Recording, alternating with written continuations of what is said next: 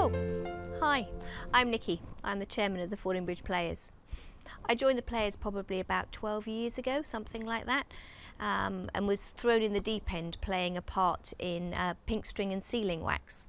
And from there, I've kind of developed. I became the secretary, and somehow I've ended up being the chairman as well. So it's a very small group. Uh, there's only about 25 of us at the moment, which is why we're doing this video to try and attract some of you to come and join us and, and join in the fun with us. So there's the sound and light part of it, the technicians.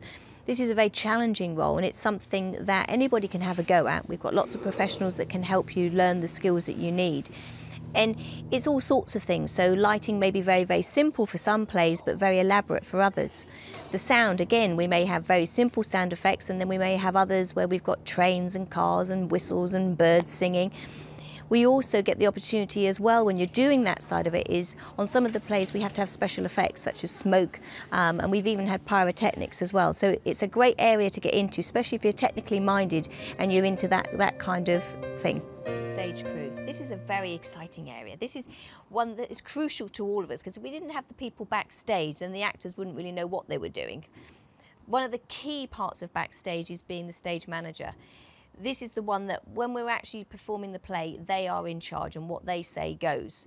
They have communication with the technical team and they're there to basically push us on when we need to be pushed on, make sure that the props are being given to us at the right times, dragging us off again, um, and working out you know, when to pull the curtains, house lights and that sort of thing also the backstage, we have the team, just the basic team that are there to help us, help us change our costumes if we need to change, to help us um, with our props, um, and also guiding us, making sure that our scripts are where we need them when we come running off stage in a panic. Another crucial part is the prompt. The prompt is one of those roles where hopefully we will never use them on the show nights, but they're there as a, as a comfort blanket, if you like, so that if we get really, really stuck, the prompt's there to help us out. So a crucial, crucial role that is something that is quite specialist. You have to be very focused and, and concentrate, but it's still an absolute fundamental part of what we do.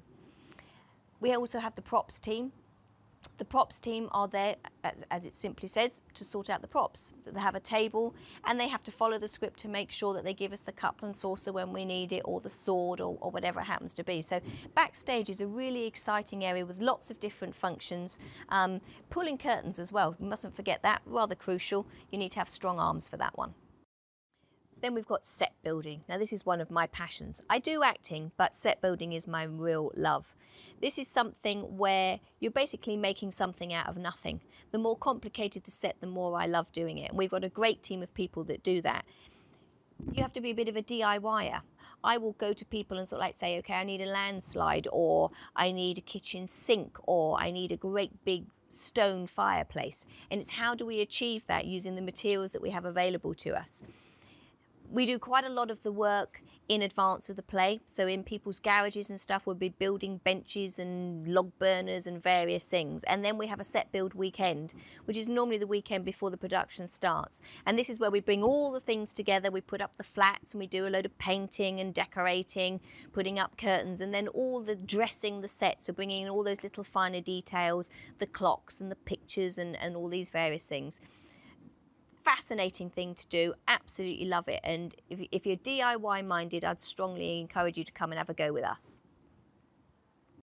Front of house. When we put on a play, we always like to provide our audience with a drink and some nibbles, and they seem to quite enjoy that. So, front of house is crucial. They have to arrange everything from the glasses to the washing up to getting in the wine and the nibbles and the soft drinks and all the rest of it. So, lovely people face to face with all the audience um, and thoroughly enjoy what they do and hopefully everybody enjoys having a drink. The Fordingbridge Players has been going for many, many years. I think over 40 years, but way before my time anyway. And over those years, we've had many players, and many members that have come and gone, all of which have taken a great deal out of being part of us, whether they've been actors or doing some of the other roles that I've already talked about. So if you think that it might be something that would interest you, then please, you know, get in touch and come and have a chat with us. You don't have to have any experience. The only thing I'd done was being a munchkin in The Wizard of Oz when I was about nine years old, and look at me now. So anybody can do it. So you're more than welcome. We would love to see you. So please do get in touch with us.